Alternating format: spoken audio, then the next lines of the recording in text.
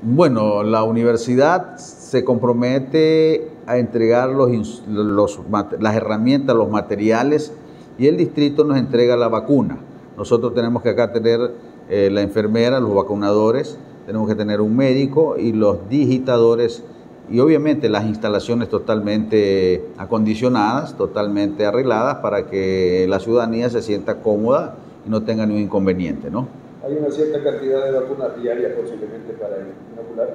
Sí, bueno, tenemos cerca de 500 vacunas diarias, ¿no es cierto? Y eso puede ir aumentando a raíz de ver la demanda, ¿no? Si la demanda aumenta, obviamente yo estoy coordinando con el doctor Carlos Rosa, que es el director distrital, y me dijo que no habría ningún problema si, si se solicita más vacunas, ¿no? Esto empieza el lunes. Eh, ¿A quiénes precisamente se le va a ubicar? Bueno, el lunes 12 de julio, creo yo, desde las 8 de la mañana hasta las 5 de la tarde, y se le va a ubicar a jóvenes de 16 años hasta 49 años de edad, ¿no?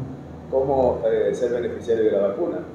Bueno, acercarse a las instalaciones de la en El Carmen y ahí hay un personal que está, va a atender y va a anotar a todos los que se van a vacunar, ¿no? Sí, obviamente, su pregunta principal, eh, ese es el objetivo del presidente Lazo, que la educación vuelva presencial porque no es lo mismo el estudio online que el estudio presencial, ¿no es cierto? La computadora no puede reemplazar al profesor eh, humano, ¿no es cierto?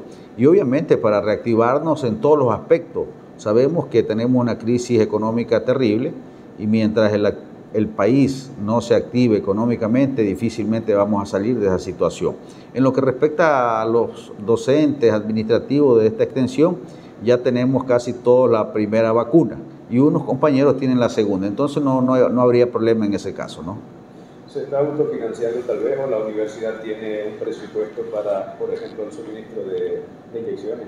Bueno, aprovecho la pregunta y aprovecho la oportunidad para decirle que no, estamos autofinanciando aquí en la extensión El Carmen, por eso estamos pidiendo la colaboración de todas las instituciones públicas y privadas y obviamente los amigos que tienen ese deseo de servir a la colectividad para regresar a la presencialidad y obviamente que se reactive el aparato económico y, todo el ente productivo, ¿no?